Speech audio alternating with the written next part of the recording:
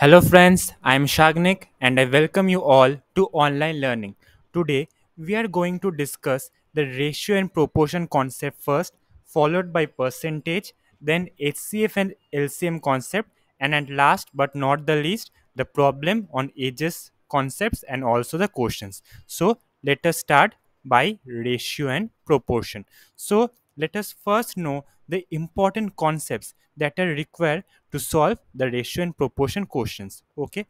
The mean proportion between a and b is root of ab that is root of ab will be the mean proportion between a and b. If a is to b proportionate b is to c then c is called the third proportional to a and b and is given by c is equal to b square by a okay? If a is to b proportionate c is to d. Then d is called the fourth proportional to a b and c and is given by d is equal to bc divided by a. The duplicate ratio many a times question can ask what is the duplicate ratio of a is to b? So that is a square is to b square and what is the triplicate ratio of a is to b? A cube is to b cube. If they say sub duplicate if they say sub duplicate then it is root over of a by root over of b. And sub triplicate then it is cube root of a by cube root of b. Okay remember this. If a quantity p is distributed in the ratio a is to b is to c then first part would be p into a by a plus b plus c. Second part would be p into b by a plus b plus c. And third part would be p into c by a plus b plus c. Now you will come to know more details about this concept when we will solve the questions so let us move to the questions Okay, find the third proportion of 18 and 54. Even if you don't remember the formulas, you can do this by your own logic.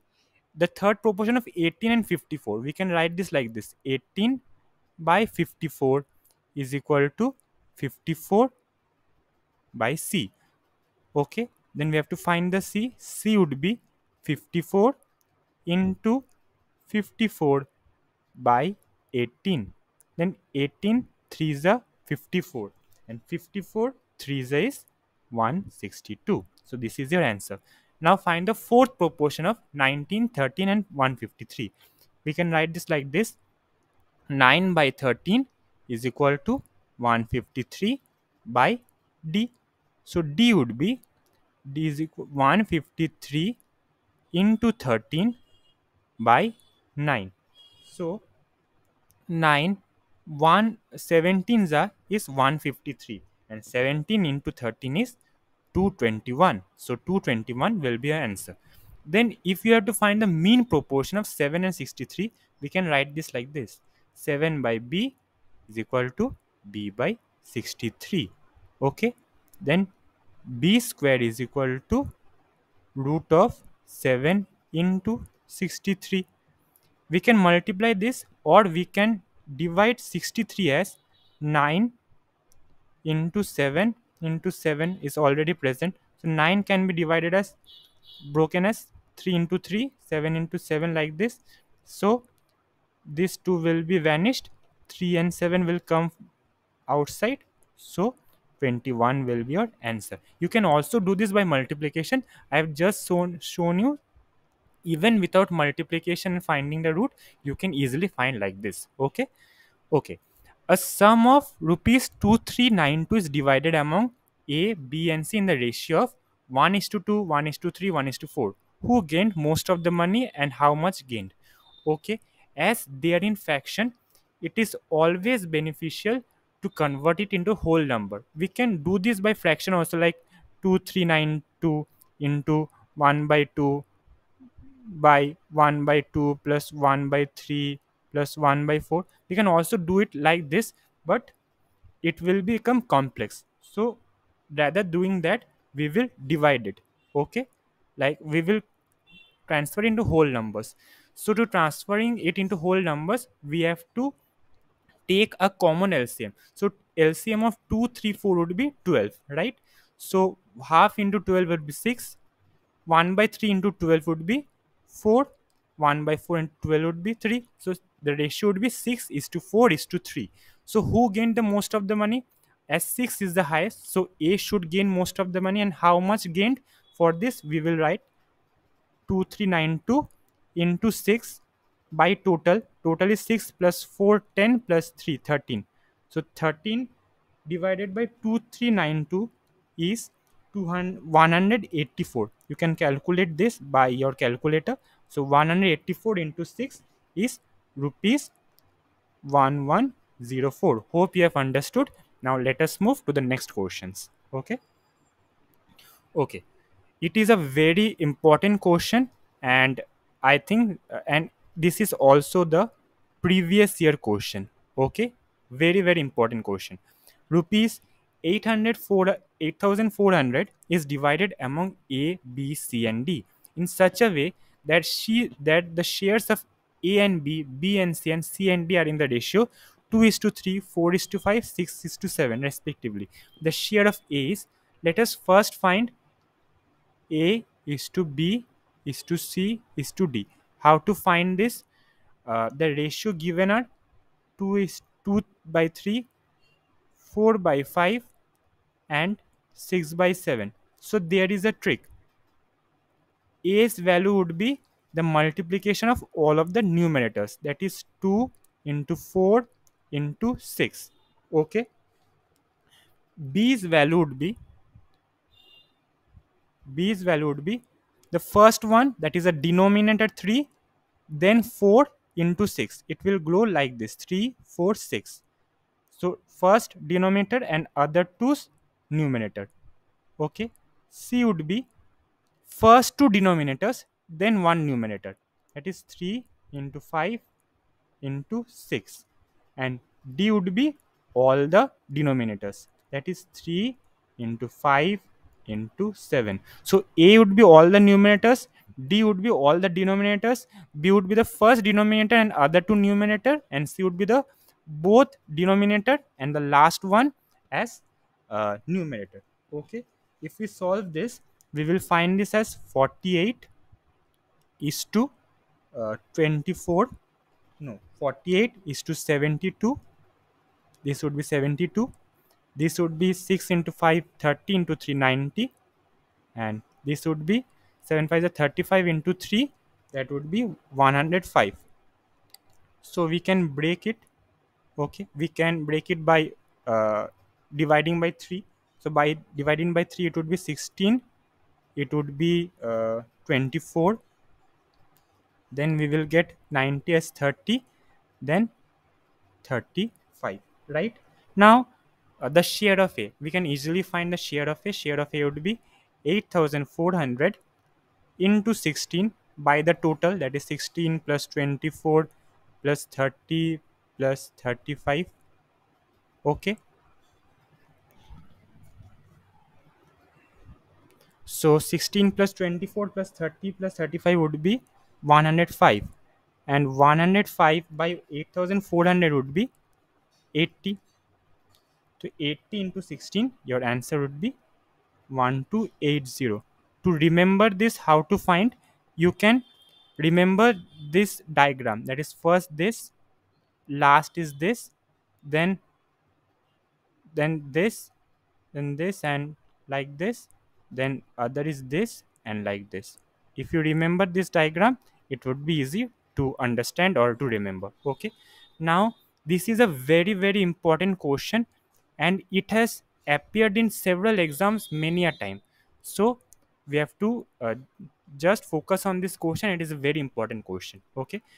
It is given there is a sum of rupees 180 consisting of rupees 1 50 paise and 25 paise coins in the ratio 2 is to 3 is to 4 in a box. What is the value of 50 paise coin? So rupees 1 into this ratio if we multiply all then we will get 180 right so we can multiply like this 1 into 2x. Consider ratio as x plus 0.50 into 3x plus 0.25 into 4x would be 180 right? Because combination of number of coins and the value would be the total sum. If we take x as common then it would be 2 plus 1.5 plus 1 x is equal to 180 so that would be x is equal to 3 by 4.5 180 by 4.5 so x would be 180 if we divide by 4.5 it will come as 40 so what is the value of 50 paisa coins? It would be 0.50 into 3x x is 40 so 0.50 into 120 it would come as rupees 60 your answer would be like this. Okay? This is all from the ratio and proportion. Hope you have understand understood it. And we will come up with more such questions of ratio and proportion. Rather we will share you questions for practice. Okay? Hope you have understood. Now let us move to the next topic. That is percentage. In percentage there is no such concept as such. But there are some concepts and i will tell you while solving the questions. Okay? Uh, so let us move to the first question. If in an examination the marks obtained by a is 20% less than that of b then marks obtained by b is how much percent more than obtained by a? Okay. Uh, so a is 20% less than that of b. So let us consider b as 100 okay? So a is 20% less a must be 80 then marks obtained by me is how much percent more than that obtained by a. So the difference is 20 we have to consider it is given more than obtained by a. So a should be numerator because we have to consider how much greater than a and we have to find the percent. So 100 20 by 80 into 100 so 4 it would be 5 5 5 so it would be 25% more. Okay? Hope you have understood. Very easy one. Now the price of apple is increased by 10% then decreased by 10% what is the change in price? So there is a formula to this type of question. A plus b plus ab by 100 okay? So the price is first increased. To 10 then decrease. So there will be a minus sign minus 10 then multiply of 10 into 10 so it is minus 100 by 100 so both will cut. It would become minus 1 so there would be a loss of 1% or change in 1% for example if the price is 100 now it would become 99 if the price is 200 it would become 198 like this way. Okay? So it would reduce by reduced by 1% that would be your answer. Now a scores 10% and fails by 30 marks. B scores 40% marks and get 30 marks more than the minimum marks needed to pass the exam. What is the maximum mark for the exam? So for shortcut to solve this type of question is to find the difference okay a scored 10% okay and b scores 40% so difference between the percentage is 30% right? And fails by 30 marks and other one gets 30 per- marks more. So the difference between them is 60 right? Because from a particular point it is 30 marks less and from a particular point it is 30 marks more. So the difference between is 30, 60 so 30% is equal to 60 so 1% is equal to 2 so 100% should be equal to 200 so the total marks is 200 marks. Easy. So whenever this type of question the there is a difference in marks also and difference in percentage also. The difference is there is a difference in value also and the difference is uh, percentage also. Then we can subtract and then we will equate and we can easily find the total marks. Okay? Now let us move to the next question it is also a very important question and a common question. If the price of sugar is increased by 25% then how much percent should a person reduce his consumption of sugar so that his expenditure remains the same? So suppose the initial price is 100 it has increased 25% so the price would become 125 so we have to find out how much percent of 125 is 100 if we can find it so we have to then reduce that amount so that the expenditure remains same. So how much percent of 125 is 100 let us find x. Uh, then it would be 100 into 100 by 125 it would be 5 it would be 4 5 4 is a 20 again. Uh, 5 4 is a 20 so 80 percent. So 100 is 80 percent of 125 so the person has to reduce his consumption by 20 percent so that the expenditure remains the same. Okay understood? Okay now let us move to the next question. In election of two candidates a got 40% of votes and lost by 1000 votes. What is the total vote? So if a got 40% b must have got 60% right? So the difference between them is percentage is 20% and the difference between the votes is 1000 so if 20 is 1000 one should be 1000 by 20 100% would be 1000 by 20 into 100 so it would be 1 5 so the total vote would be 5000 easy and it is again a previous year question and a very important question. This question can come you in the advanced portion. Advanced uh, numerical advanced portion you can receive or you can see this type of question. So let us see what the question demands. By 20% decrease in price of rice. Okay people can buy 10 kg more rice in rupees 100 what is the original price of 1 kg rice. So let us consider uh, original price as p and consider a as the total amount the initially the person can buy uh, in rupees 100 rupees. So there is a decrease in 20% so if the total amount is 100 and the decrease in is 20% then it would now become 80% so 80 by 100 and the price becomes 80 by 100 they can buy 10 kg more a plus 10 which would be equal to uh, the original price and the original amount of rice they can buy right? Because the value would be both be 100 so it would be similar. We can equate it. Now it would become 0.8p into a plus 10 it would be p into a right? So we can remove p and if we solve this uh, 0.8a 0.8a plus 0.8 into 10 it would become 8 is equal to a.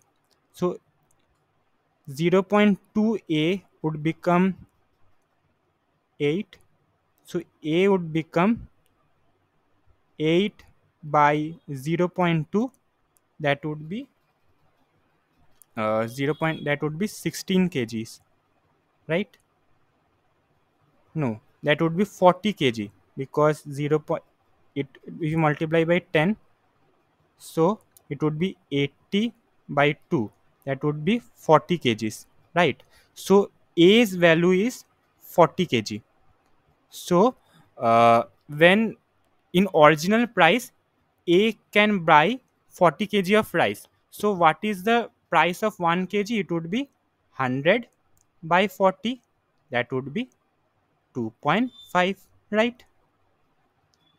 If you have not understood in the first attempt then you can again pause the video and you can again see it. Then hopefully you will get to know. Otherwise you can also ask me in the doubt section. Okay? Now let us move to the next question. In a uh, it is also a very common question and many a times they ask you in the percentage uh, questions this type of question okay? In a class 15% students failed in science 25% failed in maths and 10% failed in both. How much percent of students passed in both? So 15% failed in science and 25% failed in maths. And there are some students who have failed in both. So it uh, that is 10% so we have to minus 10% because collectively we have added it that how much percent has failed in science and how much percent has failed in maths. So we have to reduce by 10 to get how much total percent have failed.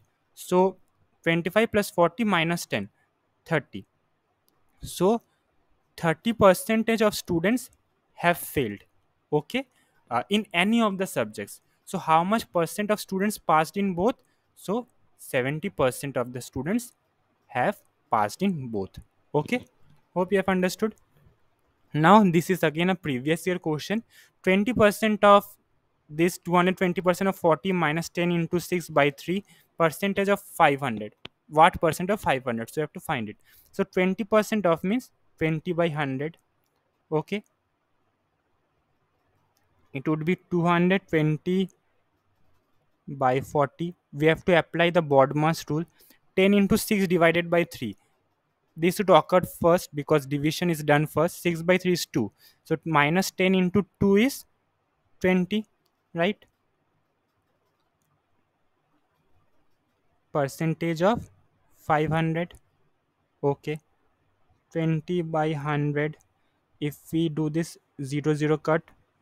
They are cut. Okay. 22 into 4 it would be 88 88 minus 20 88 minus 20 would be 68 68 percentage of 500 so it will again be 100 of 500 right?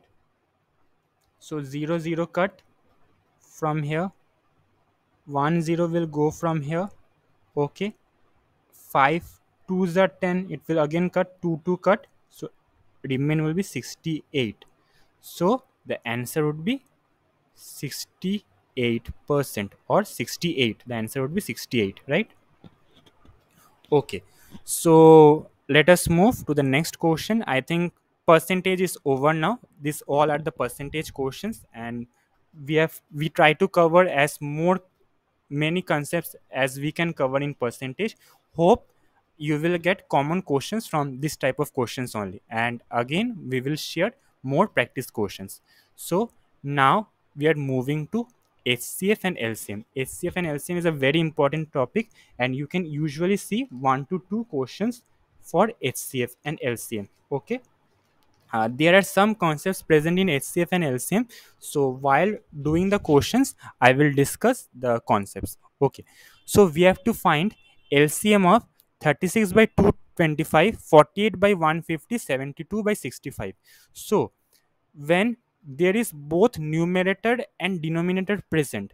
Okay that is it if it is in fraction then lcm would be lcm of numerator by hcf of denominator when there is fraction. And if we have to find hcf then just opposite we have we will do hcf of numerator by lcm of denominator. Okay remember it. So here we have to find LCM of this. So we will find LCM of 36 48 and 72 and we will find HCF of 225 150 and 65 that is the denominator. So I think most of you know how to find the LCM in LCM what we do we divide all the numbers until all of them becomes 1 okay? And then we will multiply the numbers which are left okay? So that uh, all can be divided by 6 i think yes. 6 it will remains 8 and 6 12 then we can reduce again by 6 it will be 1 it would become 8 it would become 2 and then from 8 so we will reduce it as far as possible so now multiply the leftover part that is 6 into 6 into 2 into 4 what it becomes? 6 6 is 36 okay? 36 into 2 72 okay? 72 into 4 uh, i think i have done some mistakes. 6 6 is 36 6 8 is 48 6 12 is 6 1 is 6 6 8 is uh, 6 2 is 12 then 2 uh, it would become 1 okay so 6 6 is 36 36 into 2 72 mm, 6 1 is 6 okay. 6 2 is 12 uh, just a minute. 6 6 uh, 6 6 is 36 6 8 is 48 6 12 is 72 right? No uh, 6 12 is 72 yes right 6 1 is 6 it would remain as uh, no i think okay this is right then if you do it by 2 okay we have done right. So 6 6 is 36 into 2 72 the 72 into 4 4 2 is 8 7 4 is 28 so it will come as 288 okay and then we have to find the hcf of 225 150 65 in hcf it is the opposite. We will find up to they are common in every one of them in every one of the numbers okay? So by 5 we can do it. It is 45 it is 30 it is 13 okay we cannot find any common number between 45 30 and 13 because they are correlatively prime among them. So our HCF would be 5 so what will be our answer? 288 by 5 right? Okay. Now what greatest number divides 17 42 and 93 and leave remainders 14 13 and 15 respectively? So as it is given we have to find greatest number so we have to do hcf because hcf is also known as greatest greatest common divisor. So whenever you see greatest number then greatest is written you will do hcf okay? So to do this type of question there is a trick. As it is given leaves remainder 4 3 and 15 we have to subtract at first. So 17 minus 4 is 13 42 minus 3 is 39 and 93 minus 15 is uh, 78 now we will find the lcm uh, sorry. Now we will find the hcf so we can find it like this 13 39 78 what we will get? 1 here we will get 3 and here we will get 6 so we cannot find any common number between 1 3 and 6 okay so 13 would be our hcf and our answer. Okay now which least number? Whenever it is saying least then we have to do lcm when divided by 20 40 and 36 leave remainders 13 41 and 29 respectively. Okay.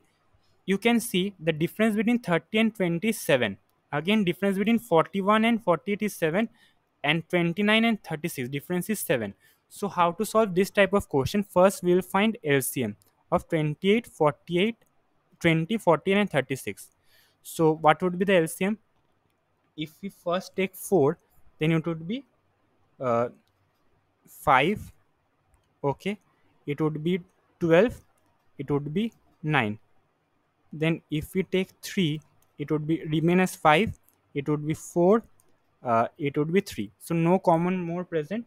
So we can multiply 4 into 3 is 4 into 3 is 12 12 5 is a 60 64 is a 240 240 into 3 uh, 240 into 3 is 720 can we find any more common? Uh, just let me check. 4 5 is a 20 okay 4 5 is a, now it is right. So it would be 720 at last as 7 is the uh, common thing left between the remainders and the number so we have to at last we have to subtract it by 7 so our answer would be 713 so first if this type of question is present first we will find the lcm and after that we will subtract the difference between the numbers and the remainders. Hope you have understood. Okay? Now let us move to the next question. Okay. Which least number when divided by 36 24 and 16 leaves 11 as remainder in each case? So what we have to do as least number is there we have to find lcm so first we have to find the lcm between 36 24 and 16 okay what it would be? 6 6 is 36 6 4 is 24 uh sorry. 36 24 and 16 okay. Let us do it first by 6 6 6 is 36 6 4 is 24 and we cannot divide by 16 now if we take 2 it would be 3 it would be it would sorry it would be 3 it would be 8 then again by 2 3 would remain as 1 now it would be 4 so 6 into 2 12 22 24 24 into 3 24 into or we can do 24 into 12 right? Because 4 into 3 is 12 so 24 into 12 2 4 is the 2 into 4 8 48 24 8 8 uh, 2 so it would become 288 so 288 plus 11 at last we have to add the remainder part. So it would become 299 let us again check if we have done right or wrong. 6 6 is 36 6 4 is 24 16 would remain as such. 2 3 is 6 2 2 is 4 2 8 is 16 okay. 2 it would be 1 2 4 is 8 so 4 3 is 12 uh, 24 24 into 2 48 48 into 6 48 into 6 it would become 6 8 is a 48 6 4 is a 24 28 it would come as 288 so 288 plus 11 your answer would be 299 so whenever it is given leaves 11 as remainder in each case. So we have to add it at last. Okay? So it could come 299 you can uh, check the calculation uh, there might be some mistake in calculation but the process is this. So remember the process and try to avoid the wrong calculation or silly mistake in exam okay?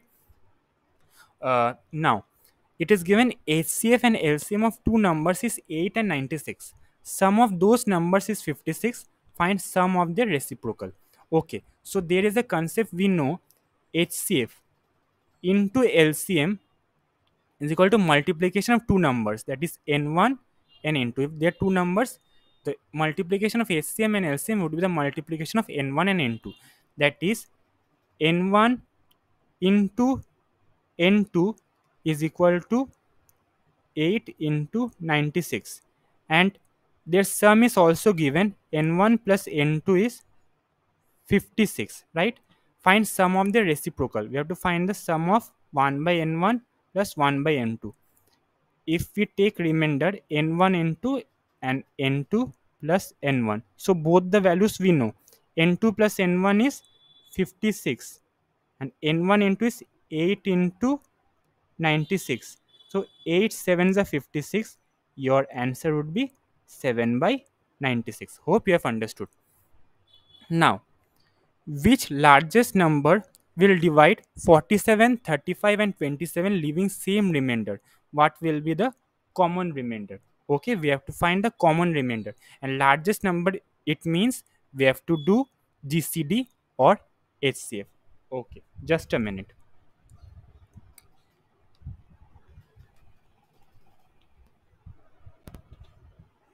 Okay let us uh, how to solve this type of question. We have to first subtract all of the numbers among themselves neglecting the negative sign. So do it. 47 minus 35 what it would be? 12 then do 35 minus 27 what it would become? 8 then 27 minus 47 what we will receive? 20 so the numbers we get 12 8 and 20 now find the hcf of them what would be the hcf 4 3 is a 2 5 so the hcf would be 4 now we have to div, uh, divide all the numbers that is present 47 35 and 27 by 4 if we divide 47 by 4 we will have remainder as 3 if we divide 35 by 4 again remainder would be 3 and if we divide 27 by 4 again we will have remainder as 3 so what would be the common remainder? Common remainder is 3 that would be our answer. So what is the process first we have to subtract all the numbers among themselves neglecting the negative sign.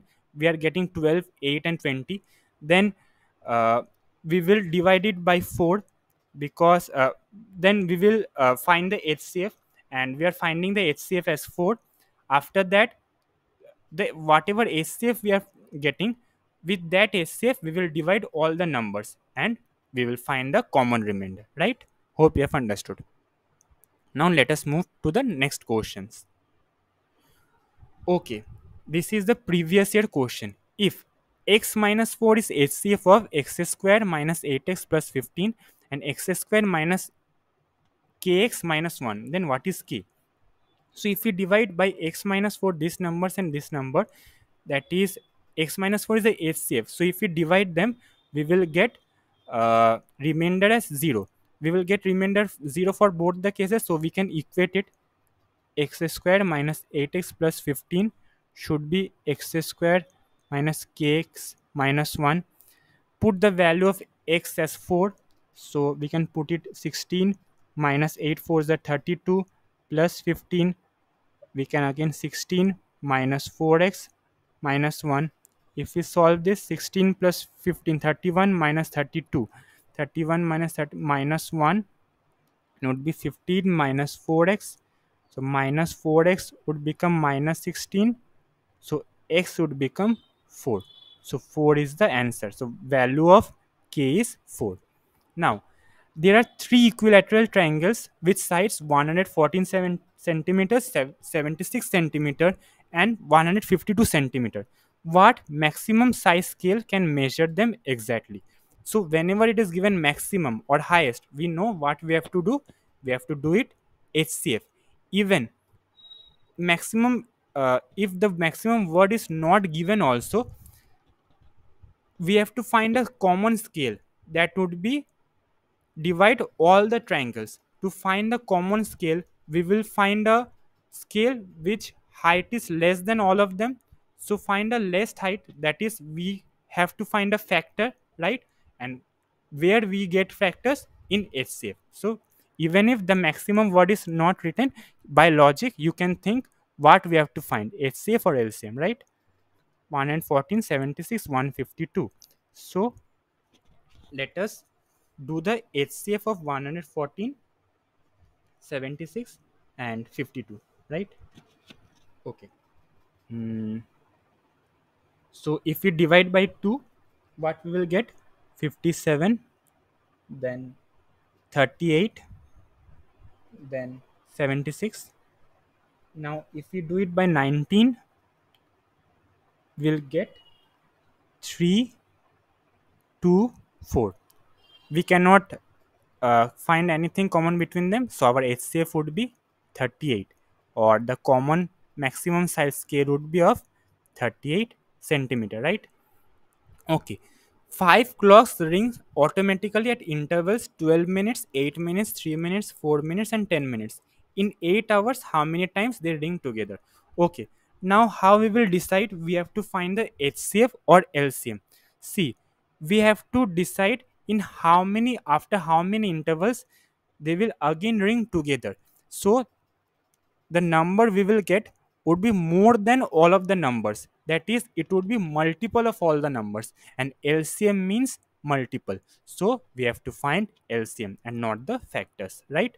Whenever we have to find a thing that is less than all of the numbers that is we have to find the factors then we will do hcf whenever we have to find a thing that will be more than all of the numbers okay that would be multiple then we have to find the LCM like this way we can do it or we can assume or we can think what we have to find LCM or LCM HCF okay now find the LCM 12 8 3 4 and 10 if it by 2 it would be 6 it would be 4 it would be 3 it would be 2 it would be 5 then again by 2 it would be 3 it would be 2 it will uh, it would be 3 only it would be 1 it would be 5 then by 3 1 2 1 1 5 so we cannot find anything common now. So 2 into 2 4 4 into 3 12 12 24 24 into 5 120 so at after every 120 minutes they will ring together. So 120 minutes mean 2 hours. So in 8 hours it would it will ring simultaneously or ring four times. So it would be your answer. Hope you have understood. So that is all from hcf and lcm now we will move to our final topic of the day. That would be problem on ages. Okay? These are the very easy question and you can generally see at least one question zero to one question in your exam. Okay? So they are very easy. Let us do it. So r after 15 years will be 5 times his age 5 years back what is the present age of Raju after 15 years. Let us uh, think of the current age as x. So after 15 years, his age would be 5 times his age 5 years back that is x minus 5 right so we have to solve the equation and just so x is equal to 15 5x minus 25 right so if we solve this 5 4x would be 25 40 so x would become 10 so his current age is 10 years right? Okay. Now 10 years ago p was half of q in age. 10 years ago p was half of q. If the ratio of present age is 3 is to 4 what is the total age of their present age? Total of their present age. So 10 years ago their ratio was 1 is to 2 now their ratio is 3 is to 4 so we can write this 3 by 4 plus uh, the ratio of the present age minus 10 minus 10 is 1 by 2 so we have to just cross multiply and solve it. So we can do 6x minus 20 is equal to 4x minus 10 so it would become 6x minus 4x 2x is equal to mm, minus 20 plus 20 therefore x would become 5 right? So ratio of their present age is 3 is to 4 so their total is 7 7 into 5 so total of their present age is uh, 35 uh, have i have i done any mistake? No. So 7x it would be 35 would be our answer again if we uh, see x is equal to 5 so we have to find the total of their present age so 3 is to 4 so total is 7 3 plus 4 7 so 7 into 5 we have got as x. So 7 into 5 35 okay. The ages of a and b is in the ratio 60 to 7 after 6 years ratio becomes 15 into 7 find the present age of a. So it is quite similar to the previous question so the ages of a is to b is the ratio 6x consider it as x the ratio after 6 years plus 6 okay? Plus 6 it would become 15 by 17 so you have to just solve this. If you solve this you will get x as 4 then we have to find the present age of a. Okay? So a is in the ratio 6 so what would the present age of a 6 into 4 it would be 24 years right okay so S is younger than R by 7 years. If the ratio of their ages is 7 is to 9, find the age of S. So difference between their ratio is what? 2. And difference between their age is 7. So we can equate it. So 2 ratio difference is 7. So what we want to find the age of S. So age is 7. So 1 means 7 by 2. So 7 means 7 into 7 by 2 that is 49 by 2 right? Easy. Or his age is 24.5 now the last question. The sum of ages of a and b is 81 ratio is 4 is to 5 find the present age of a and b. Okay. So ratio is 4 is to 5 so if we sum it it would be 9 right. The sum of ages of a and b is 81 so 9 is 81 1 is 9 so 4 4 means 9 4 is 36 5 means 9 5 is uh, 45 so the present age of a is 36 present age of b is 35 so that is all for today. If you have any doubt please let me know in the doubt section and please share it among your friends. And if you like the course also let me know. That's all for today. I will come up with more topic videos in the